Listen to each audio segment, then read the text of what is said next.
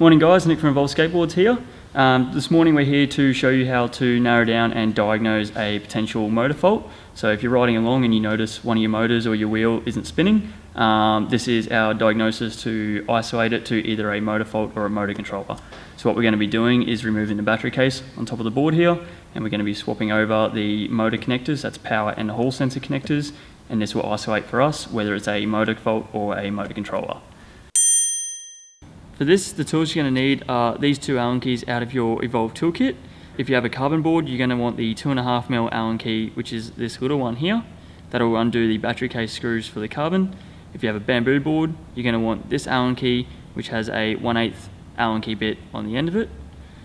Alternatively, you can use a drill with a 1 8 bit if you have a bamboo, or a drill with a 2.5mm Allen key bit if you have the carbon.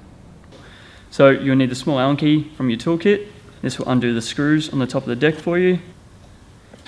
For this exercise, we're going to be using the drill just to speed things up a little bit.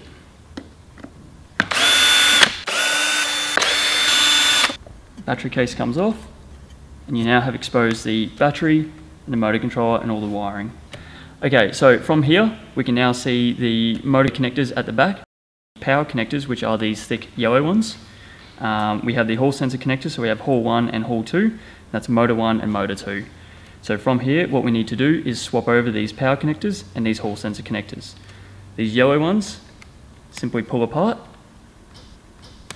as such. Now the hall sensor connectors down here have very thin wires. What we need to do is be very careful when we're pulling these out.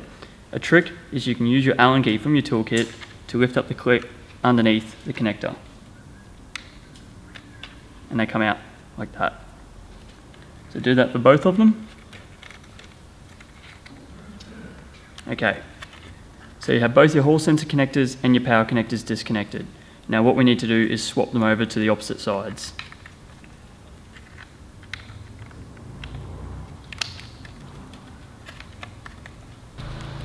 So now that we've swapped the cables over from the motors, if before the exercise your right motor was not working, if it was a motor fault, that same motor would not be working still.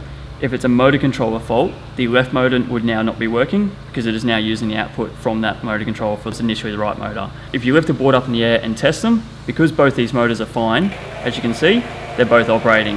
However, because they're receiving the opposite signals, both from the power and the hall sensors, the motors are operating in reverse.